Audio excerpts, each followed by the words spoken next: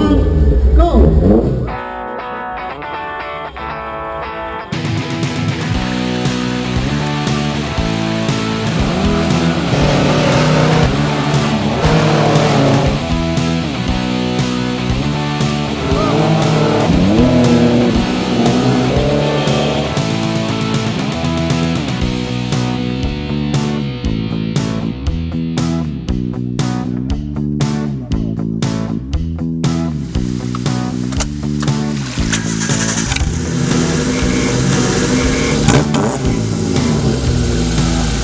え皆さんこんにちは。4x4 マガジン河村です。この車はですね2013年アジアクロスカントリーラリーの総合第4位そしてクラス1位を勝ち取った車なんですね。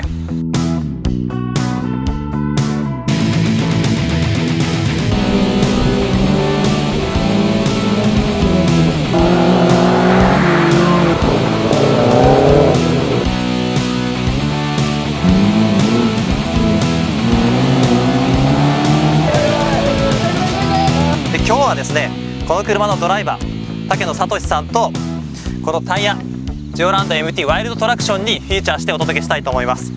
今年は、はい。ジオランド MT の新作のはい。ワイルドトラクションでアジアンラリー出られたんですよね。はい。実際使われてみてはい。いどうだったんですか？や本当にねすごい使いやすかったですよどう使いやすいんですか？コントロールしやすいとかはい。あとはねストレス感じなかったんですよ。ストレスを感じない。はい。どうストレスを感じないですか？一つはねあの柔らかさですねタイヤの。柔らかさはい。はい。実はね去年よりタイヤが1キロ軽くなってるんですよ。はい。でホイールも今年ちょっと変えてあるんですけどホイールも1キロ軽いね。合わせて2キロ軽いんですよ。なるほど。うん。でそれによって足回りというか雰囲気で言うとリーフスプリングなんですけど僕ら。コイルスプリングに変えたぐらいすごい乗り心地が柔らかくというかソフトになりましたね。なるほどね。ナビの柳川が、はい。あの去年ね実はねご飯食べれなかったんですよ。もう車の突き上げとかもう胃が揺れるというかねもう体中揺れてるんで去年全然ご飯食べれてなかった柳川が今年はねニコニコしてご飯食べて食べれたんですよ。はい。えー。大体1日はい。どのぐらいの距離走るんですか？400オーバーですね。400 400キロ。オーバーですね。時間にするとその朝何時から？朝7時スタートぐらいから夜は6時ぐらいですかね帰ってくるのが。まとまってる時間あるんですよ。うん。半日ぐらいは。そうですねほとんど走りっぱなしですね。でドライバーの竹野さんにとってはストレスはたまらないんです。たまらなかったです。どんな風にたまらないんです？か今ね自分の思い通りにコントロールできる。思い通り。要は乗りやすいんですよね。直線上の穴、はい。穴がなんせねすっごい穴が開いてるんですよ。大体アベレージどのぐらいのスピードで走る？もう60キロの時もあればマックス僕ら100キロしか出ないんですけど、はい。100キロ全開で走る時もあります。結構な穴がポコポコと開いてるんですかそうですね。普通そこにはまったら車は前転します。正直ブレーキをかけてゆっくりコットンとこう超えてたのが去年だったんです車壊さないようにそうですね。はい。で今年ははい。スピードレンジやっぱり去年よりだいぶ上がってるんで竹野さん自身の。そうですね、はい。穴を避けるという方法をちょっと思いついたものですから、はい。それ去年あたりからっておっしゃってそうですね。去はい年の後半からちょっとその穴よけをしたんですけども、はい。はい。いきなり直線上でこうやってハンドル切るんですよね。穴の前で。はい、はい。と車ってこうロールしちゃうんですよね。はい。そのロールを利用してロールするとこっちタイヤがまあ浮きはしないんですけど、はい。軽くなっちゃう軽くっていうか荷重抜けちゃうもんで、そこに穴通すと穴の上を何もななしで取っちゃうんですよね。その車の左右の荷重移動をうん直線移動してるときにはいパンパンと結構そうですねもうずーっとです正直穴が多いところはひたすらです、はいで2回連続であれば2回こうやったりとかそれがしやすいということですしやすいですねタイヤホイールが軽くなったおかげで、うん足回りがすごくこう機敏に動いてくれるうんだからね去年と一緒のタイミングでやってもうんスピードが上がってるのに全てこうはい。常に避けてくれる。ね穴も片方ずつこう開いてる穴ばっかじゃないんですよね、はい。車1台がすっぽりはまるというか横幅がはまるぐらいの大きい穴の時に。ええでやっぱり僕らも100キロぐらいで走ってるとはい。それにやっぱり気づくのが遅れちゃうんですよね。はい。それを避けるのにうん。一度アクセルをパッと離してはい。で車を前荷重にしてうん。ですぐにアクセル踏んで前を上げて前を通すんですよね。でその時の動きもやっぱりねバネ車荷重が軽いおかげでそのすごい機敏に動くんですよ。でやっぱりタイヤの重さが重ければ重いほど感性がどうしてもそれでね車が自分のアクセルにやっぱりこうついてこない。あータイヤの回転の回転の重さもやっぱり感性がそうですね。パンと踏んだ時にパンと前に出てくれてそうですね。荷重移動のしやすさにつながってる。はいそうです。ブレーキも効くんですよね。うんうんうんブレーキも効くアクセルも反応にも効く。だからコントロールがしやすい。なるほど。はい。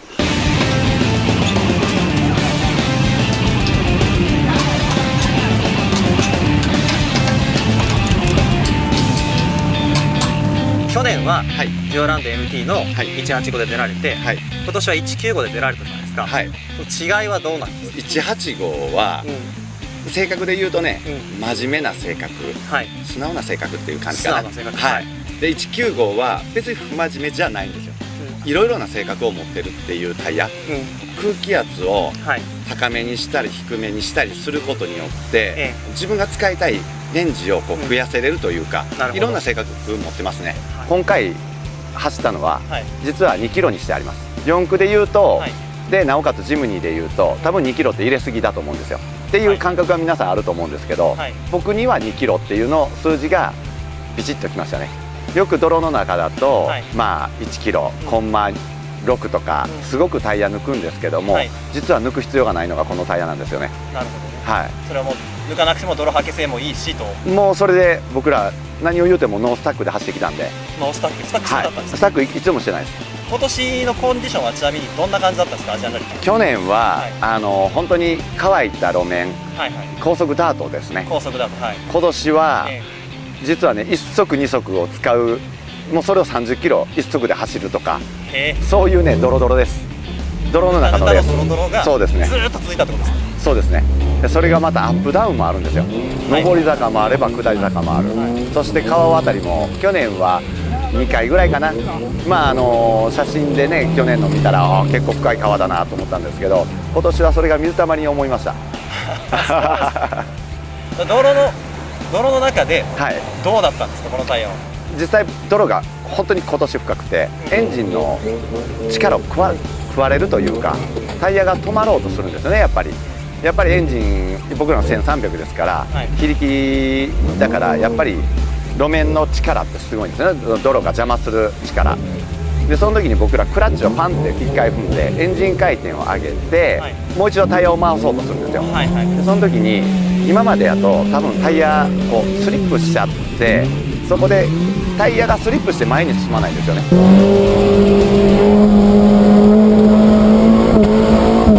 もうこのワイルドトラクション違いますね。クラッチ切って上げてだったら空転しない分そこでまた食うんですね。そうですね。あでグググググっていう感じですわ。あなるほはい。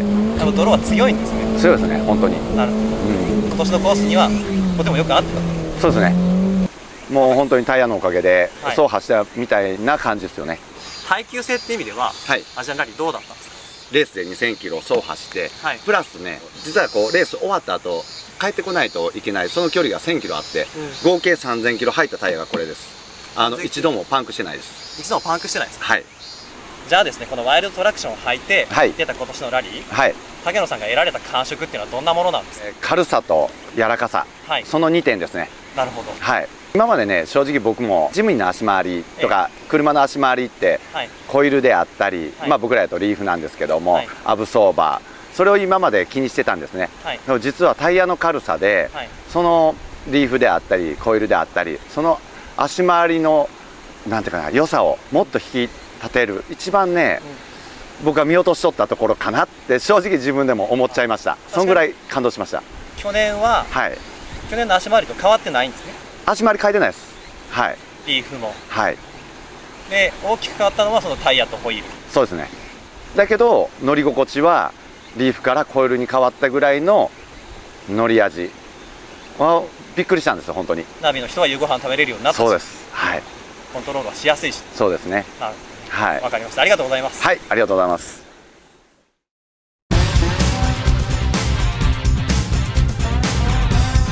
外から見ても、えースタートダッシュブレーキングコーナーリングもう明らかに異なります。土の飛び石の飛びこれはもうトラクションがかかっている証拠でもう明らかに差が出てきてます。オンロードがある意味裏切られました。っていうのもこのパターンでオフロード向きである。